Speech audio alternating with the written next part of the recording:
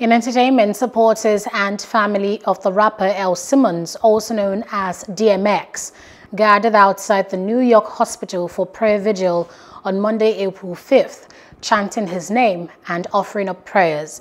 The 50-year-old was admitted to the hospital on Friday following a heart attack and is on life support. DMX made his rap debut in 1998 and has released seven studio albums. His career achievements include three Grammy nominations. However, he has struggled with substance abuse for years.